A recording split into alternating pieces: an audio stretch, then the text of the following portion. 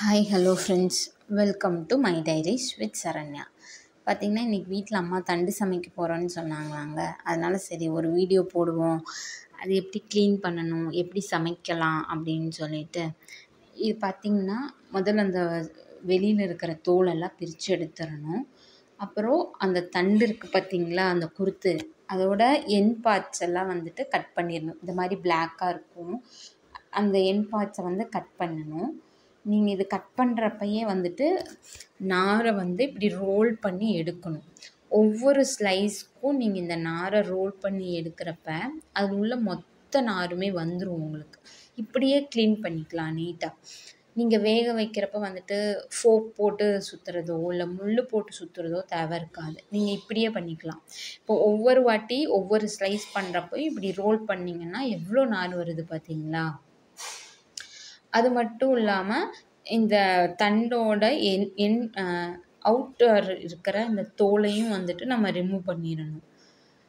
அப்புறம் ஒவ்வொரு ஸ்லைஸ் போடுறப்பையும் நீங்கள் ரோல் பண்ணி ரோல் பண்ணி அந்த ஸ்லை அந்த ஸ்லைஸில் உள்ள நாரை எல்லாம் எடுக்கணும்.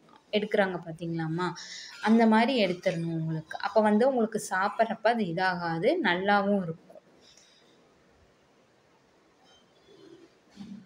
பார்த்திங்களா இப்படி தாங்க க்ளீன் பண்ணணும். அப்புறம் குட்டி குட்டி பீசஸாக கட் பண்ணி நீங்கள் தண்ணியில் போட்டு வச்சுக்கலாம். இது ஃபுல்லாக கட் பண்ணி முடிக்கிறதுக்கு எப்படியோ டைம் ஆகும்ல. அந்த நாரெல்லாம் எடுத்து எடுத்து அது வரைக்கும் தண்ணியில் போட்டு வச்சுக்கலாம். இப்போ பார்த்திங்கன்னா தண்டுனாவே நார்மலாகவே பருப்பு போட்டு உசிலி மாதிரி தான் பண்ணுவாங்க. நாங்களும் அம்மா அப்படி தான் பண்ணுவோம். ரெண்டு வகையில் பண்ணுவாங்க. அப்படி ஒன்று பண்ணுவாங்க. இப்படி ஒன்று பண்ணுவாங்க. இது பார்த்திங்கன்னா பொரியல் மாதிரி பண்ணுவாங்க. உங்களுக்கு சாம்பாருக்கும் கூட வச்சு சாப்பிட்றதுக்கு செம்ம டேஸ்ட்டாக இருக்கும். அதனால் இந்த டிஷ் உங்களோட ஷேர் பண்ணிக்கலான்னு சொல்லிட்டு இந்த பதிவு நான் போடுறேங்க.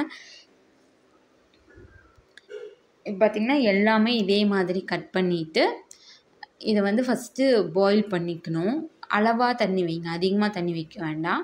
உங்களோட தண்டு எவ்வளோ கட் பண்ணி வச்சுருக்கீங்களோ அதுக்கேற்ற அளவுக்கு அளவாக தண்ணி வச்சு தண்டு உப்பு மஞ்சத்தூள் போட்டு வேக வச்சுருங்க. வெந்ததுக்கப்புறமா வேற வடச்சட்டியில் வந்துட்டு தேங்காய் எண்ணெய் யூஸ் பண்ணுங்கள் தேங்காய் எண்ணெய் கடுகு கருவேப்பிலை சின்ன வெங்காயம் பச்சை மிளகா போட்டு நல்லா வணக்கிடுங்க. ஏன் தேங்காய் எண்ணெய் அப்படின்னா தேங்காய் எண்ணெய் தான் வந்து இந்த டிஷ்ஷுக்கு வந்து ஒரு டேஸ்ட் கொடுக்குங்க. அது ரொம்ப நல்லாயிருக்கும் நீங்கள் சும்மாவே சாப்பிட்லாம். குழந்தைங்களுக்கு கூட சும்மாவே கொடுக்கலாம். அப்படியே சாப்பிடுவாங்க. சூப்பராக இருக்கும். இது ரொம்ப நல்லதுங்க. வீக்லி ஒன்ஸ் இல்லைன்னா டூ வீக்ஸ் ஒன்ஸ் ஆச்சு.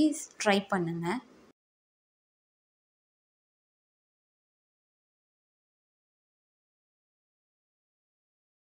அப்புறம் வேக வச்ச தண்டு போட்டு சாட்டே பண்ணிடுங்க ஒரு ரெண்டு நிமிஷம் சாட்டே பண்ணிங்கன்னா போதும்.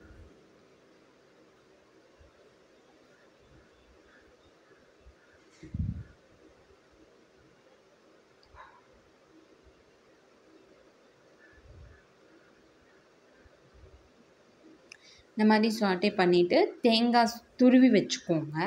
துருவி தேங்காய் போடுங்க. தேங்காய் நிறைய போட்டிங்கனாலும் டேஸ்ட்டாக இருக்கும். இந்த அளவுக்கு இது போதும் அப்படிங்கிறனால நான் இவ்வளோ தான் போட்டிருக்கோம். இதை போட்டு ஒரு டூ மினிட்ஸ் மறுபடியும் தேங்காவை சாட்டே பண்ணிவிடுங்க இதுக்கான உப்பு பார்த்திங்கன்னா ஆல்ரெடி நம்ம தண்ணியில் போட்டிருக்கோம். வெங்காயத்துக்கு பச்சை மிளகாவுக்கு மட்டும்தான். அம்மா கொஞ்சம் முன்னாடி உப்பு போட்டுட்டாங்க.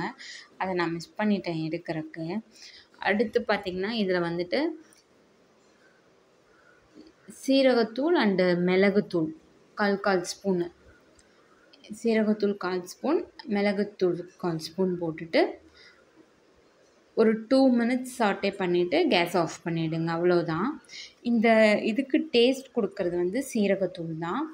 காரத்துக்கு வந்துட்டு பச்சை மிளகாவும் பெப்பரும் உங்களுக்கு நல்லா டேஸ்ட்டாக இருக்கும். இது வந்து நீங்கள் சாம்பாருக்கு வச்சு சாப்பிட்றதுக்கு எப் காரக்குழம்பு வச்சு சாப்பிட்றதுக்குன்னு எல்லாத்துக்குமே டேஸ்ட்டாக இருக்கும். நீங்கள் ட்ரை பண்ணி பாருங்கள்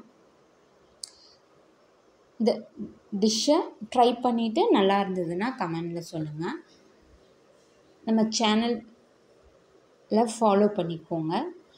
பிடிச்சிருந்தா ஷேர் பண்ணுங்கள் சப்ஸ்கிரைப் பண்ணுங்கள் சப்போர்ட் பண்ணுங்கள் ஃப்ரெண்ட்ஸ் பாய்